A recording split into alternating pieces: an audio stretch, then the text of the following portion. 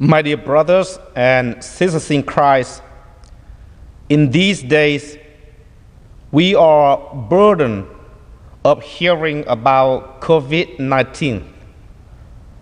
We are burdened of all precautions from keeping ourselves quarantined, isolating with social distance, suffocating by wearing face masks most of the time, feeling nerve wracking when we go shopping or public events. We are burdened of bombarding news from social media, which become the primary source of our burnout. We are burdened of all kinds of worries and sufferings nowadays. Today's gospel brings words of comfort from our Lord Jesus Christ.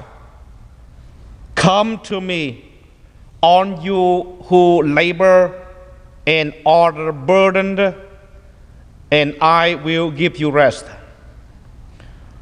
When you are overwhelmed with the global pandemic and and civil unrest, when you are overwhelmed with financial misfortunes, the down times in your marriage, the boring aspect of your job, the continuous care of your children, concern with your declining health or that of the loved ones, no matter where your pains and problems come from, Jesus invites you to come to Him and He will give you rest.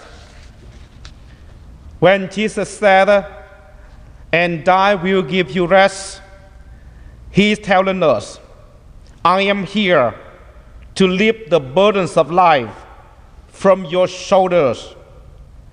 I will take them on me if you will let me. If you are oppressed and bent under the accumulation of too many demands and concerns, Jesus stands ready to lighten your load. If you are exhausted from juggling bills, kids, work, and all the pressing problems, Jesus can restore your weary spirit. Be at peace is the assurance of the Lord. And not to be afraid is the repeated instruction in the Bible.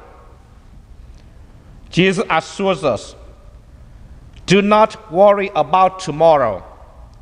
Tomorrow will take care of itself.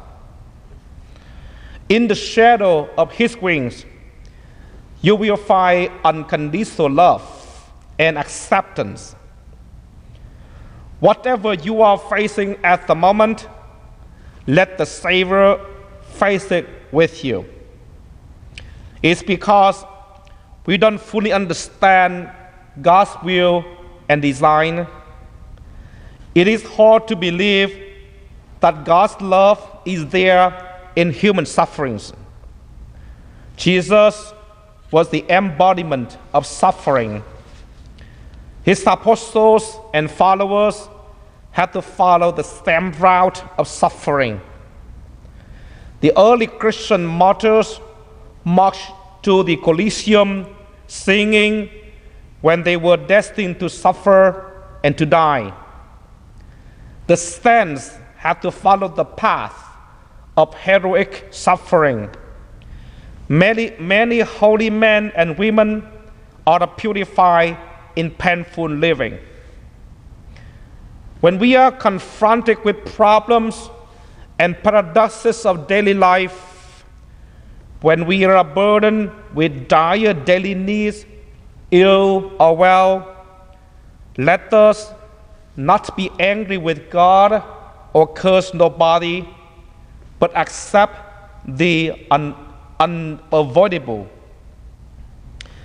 In the second letter to the Corinthians, St. Paul remarks, I am content with weaknesses, insults, hardships, persecutions, and constraints for the sake of Christ. For when I am weak, then I am strong. Pray and be in peace with the destiny unavoidable.